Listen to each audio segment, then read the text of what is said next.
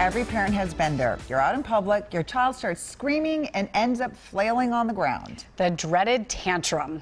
Even the royal family goes through it. You can see two year old Princess Charlotte had enough of her trip to Germany last week.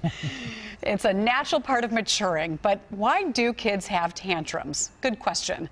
Heather Brown found a little relief in the answer.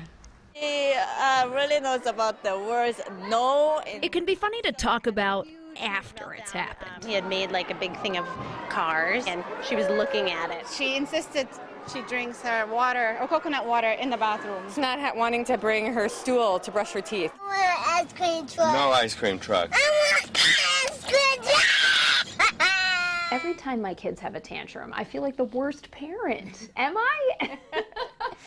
so I thought that that could potentially be the answer to that question, but no, no, because every every child tantrums. Dr. Megan Miller is with Allina Health. She's also mom to a one and four year old. So even the child psychologist. Even a child psychologist is managing tantrums at oh, home. You're making yes. me feel better. well, mostly because they don't get what they want. It's a developmental stage. It's something they're working through. Um, being able to express your emotions is a skill. It's like riding a bike. We can't expect our kids to just know it right off the bat. Adults process emotions in the front part of the brain. That's not really matured until adolescence and beyond. I wish I could have a tantrum when I was mad about something, but fortunately it doesn't look very good these days. Our kiddos, the really young ones, they're using more of a centered part of the brain called the amygdala, which is where all our um, emotions, kind of emotion center is. Sometimes it's their ways of um, expressing themselves. Do you like your new baby sister? No!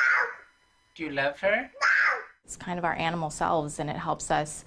Um, you know, we're supposed to be anxious. It helps us detect danger and helps us stay away from things that might not be good for us. Kids are also built to use their imagination. Fostering that creative thought is really great, and sometimes their imagination leads them to a misconstrued thought, like I might go down the toilet or I might go down the drain. So parents, even duchesses, have to teach, sometimes grin, and bear it. Well, good luck. Heather Brown. Yep. you just have another couple years to go. Right. WCCO 4 News. Our expert says that the best way to deal with tantrums is to be calm, be calm, and talk with them at eye level. You can give them space, but she doesn't recommend leaving them entirely alone. Ultimately, the best thing for the kids is structure, consistency, and modeling good behavior. If you have a good question for Heather, please email it by going to wcco.com/links.